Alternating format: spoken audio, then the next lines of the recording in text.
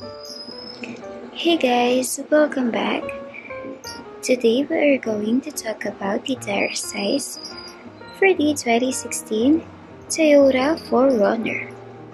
And if you are looking for the tire size for your 2016 Toyota 4Runner, I have already looked it up.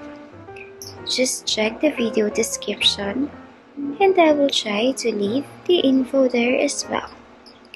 The tire size for your 2016 Toyota 4Runner is 245 60 20. Driving on bad tires is terrible for your car and a danger to you.